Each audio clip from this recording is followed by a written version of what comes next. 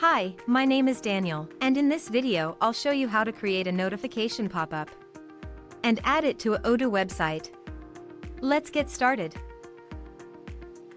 The notification pop-up is a great addition to any website.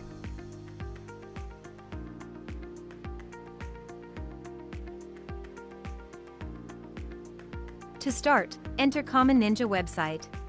Choose your widget from our large collection of widgets.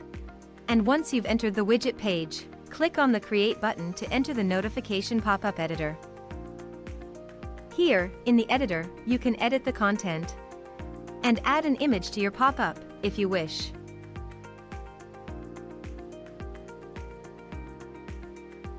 You can select a layout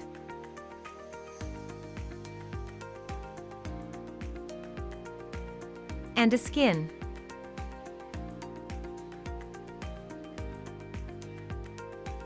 Customize the notification pop-up look and feel.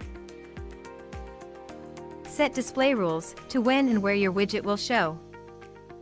And change the settings. When you're done, click the Save Changes button to save your work. If you don't have an account on Common Ninja yet, you'll have to register first. When you're ready to add the notification pop-up to your website, go back to the dashboard. Now, on the dashboard, you'll see the widget you've created. Click on the Add to Website button. In the window that opens, copy the code. And close the window. Remember, you can always return to the widget and keep on editing it. Now, let's head to the Odoo editor.